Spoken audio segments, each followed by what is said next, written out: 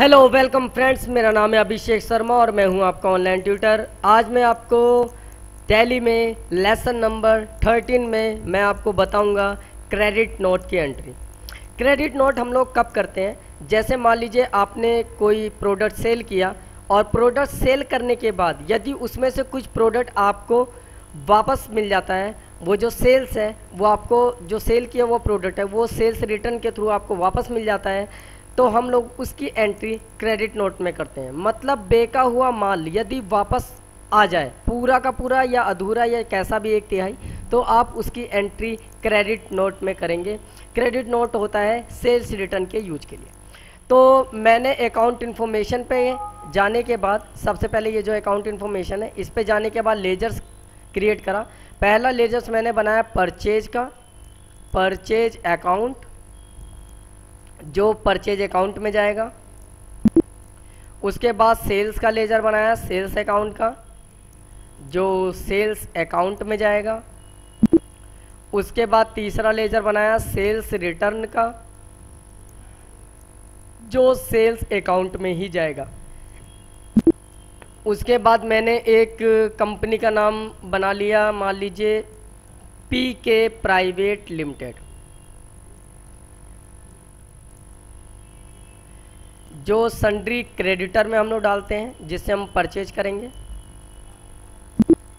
और मैंने एक एस के प्राइवेट लिमिटेड का लेजर बनाया। जो संड्री डेटर में डालते हैं डेबिटर में, जिससे हम सेल करेंगे मतलब जिसे हम सेल करेंगे प्रोडक्ट उसके बाद हमें क्या करना है? इन्वेंट्री इन्फॉर्मेशन पे आना है। इन्वेंट्री इन्फॉर्मेशन में स्टॉक ग्रुप्स को हमें क्रिएट करना है। इसमें हम कंपनी का नाम डाल देते हैं, मान लीजिए नोकिया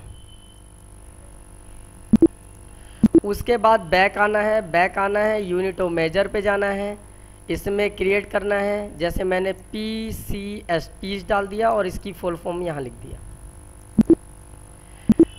उसके बाद हमें आइटम्स क्रिएट करने हैं, आइटम्स पे मैं गया और मैंने यहाँ पे डाल दिया नोकिया सेल फोन्स। जो नोकिया में और पीस में जाएगा। सिलेक्ट कर लिया मैंने अंडर और यूनिट को। उसके बाद अकाउंटिंग वाउचर पे गए और परचेज का पहले ही लेजर खुला हुआ है। मैं परचेज करूँगा। मैंने सेवन एट सिक्स मैंने रेफरेंस नंबर यानी कि बिल नंबर डाला।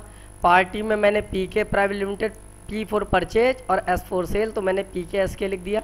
तो पी के प्राइवेट लिमिटेड जो सप्लायर है, उसका एड्रेस उसका सेल टैक्स नंबर डाल सकते हैं। मैंने परचेज किया पी के प्राइवेट लिमिटेड से नोकिया सेलफोन जो मेरे पास प्रेजेंट में ज़ीरो पीस है।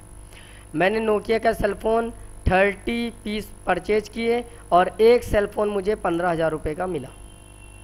चार लाख पचास हज़ार रुपये मतलब साढ़े चार लाख रुपए का टोटल मैंने परचेज किया। मैं यहाँ पे बिंग ऑफ़ परचेज ऐसे भी डाल सकता हूँ और मैं यहाँ पे ऐसे भी लिख सकता हूँ purchase Nokia cell phones with rupees, कितने रुपए का? Four five zero zero zero zero dot double zero पैसे के लिए स्लैश हाइपन इसका मतलब मैंने नोकिया का सेलफोन खरीदा साढ़े चार लाख रुपए का। उसके बाद हम F8 का बटन प्रेस करेंगे। ये सेल्स का है। सेल्स के लिए यदि आप परचेज पे हैं तो यहाँ पे देखिए F8 लिखा है सेल के लिए तो मैंने इस पर क्लिक करा। सेल्स का वाउचर आ गया। अब सेल के वाउचर में मैंने डाल दिया zero one two three four ये बिल नंबर हो गया। पार्टी में मैंने एस के प्राइवेट लिमिटेड को सेलेक्ट कर लिया।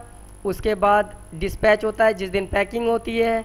ऑर्डर होता है जिस दिन ऑर्डर आता है। बायर होता है जिस दिन खरीदने वाला लेके चला जाता है। तो मैं उसके पूरी डिटेल फ़ीड कर सकता हूँ, चाहूँ तो।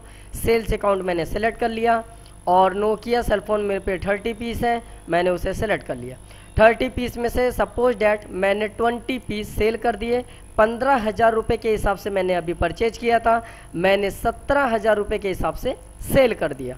तो टोटल तीन लाख चालीस हज़ार रुपये प्राइज आ गया। बीस पीस के यहाँ पे नरेशन में डाल सकता हूँ, जैसे मैंने यहाँ पे नरेशन डाला। Sale on Nokia cell phones with rupees three four zero zero zero zero dot zero zero decimal के लिए, पैसे के लिए मैंने यूज़ करा है। डेसिमल के बाद की वैल्यू तो यहाँ पे मैंने तीन लाख चालीस हज़ार रुपये का सेल कर दिया।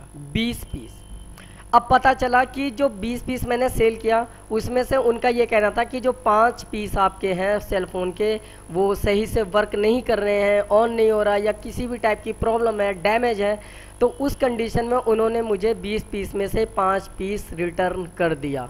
और रिटर्न करने के बाद मुझे अपने इस वाउचर में किस जगह एंट्री करनी होगी?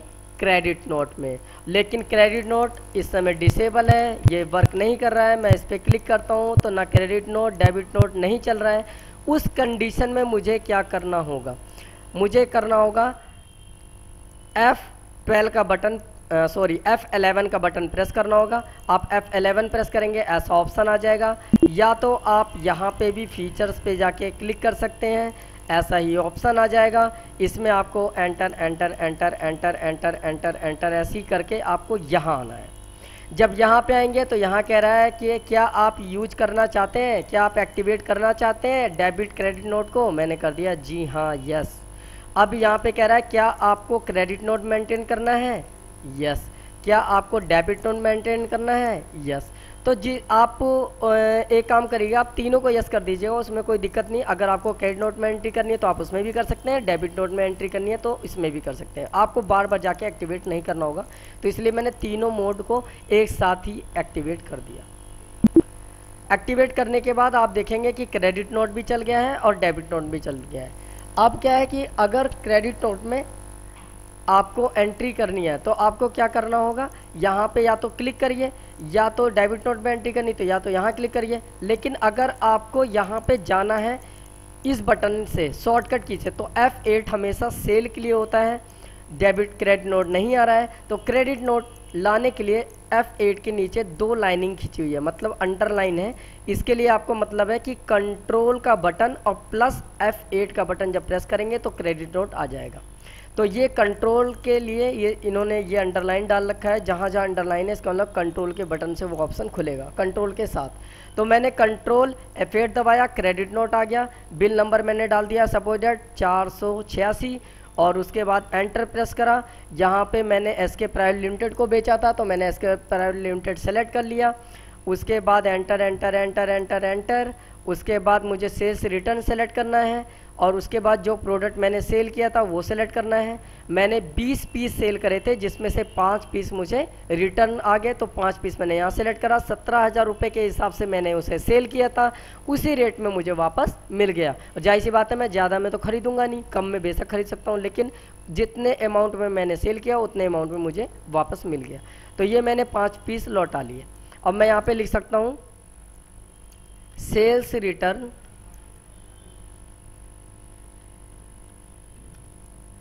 Nokia cell phone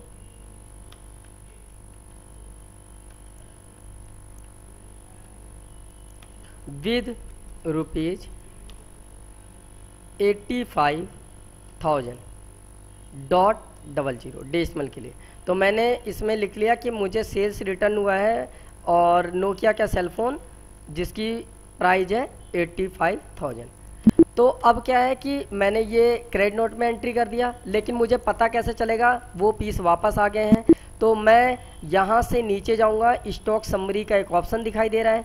इस पर आप एंटर प्रेस करेंगे तो यहाँ नोकिया दिखाई दे रहा है। इसमें एंटर प्रेस करेंगे तो नोकिया सेल फोन्स दिखाई दे रहा है। इसमें एंटर प्रेस करेंगे तो यहाँ पे दिखाई दे रहा है कि आपने 30 पीस खरीदे 15 पीस सेल किया 15 पीस बचाए। लेकिन अभी भी इसमें ये दिखाई नहीं दे रहा कि रिटर्न हुआ है। तो उसके लिए आप एक बार और एंटर प्रेस करिए। यहाँ पे आ गया 30 पीस टोटल थे। आपने 20 पीस सेल किया, पाँच पीस आपको वापस मिल गया, इसलिए 15 पीस बचे हैं। क्योंकि देखिए माइनस फाइव लिखा है क्रेडिट नोट का तो इसका मतलब ये शो कर रहा है कि तीस पीस में से बीस पीस सेल किया, पाँच पीस वापस आए, पंद्रह पीस टोटल बचे हैं। तो इस तरीके से आप स्टॉक समरी में जाके उसके स्टॉक को से मतलब चेक कर सकते हैं और अकाउंटिंग वाउचर में जाके उसकी एंट्री को चेक कर सकते हैं और डिस्प्ले में जाकर आप जो भी एंट्री कर चुके हैं, उस एंट्री को आप यहाँ पे दोबारा रिटर्न में देख सकते हैं। देखिए ये, देखिए। पहली एंट्री थी मेरी परचेज उसके बाद मैंने किया सेल उसके बाद मैंने किया क्रेडिट नोट में एंट्री तो यहाँ पे देखिए सभी की एंट्रियाँ यहाँ शो कर रहा है. जब एंटर प्रेस करूँगा तो वो बिल सेम टू सेम वैसे ही ओपन हो जाएगा जैसे मैंने उस बिल को एंट्री के समय किया था. तो मतलब आप डिस्प्ले में डे बुक में आप ये चेक कर सकते हैं कि आपने कौन कौन सी एंट्री कब किया.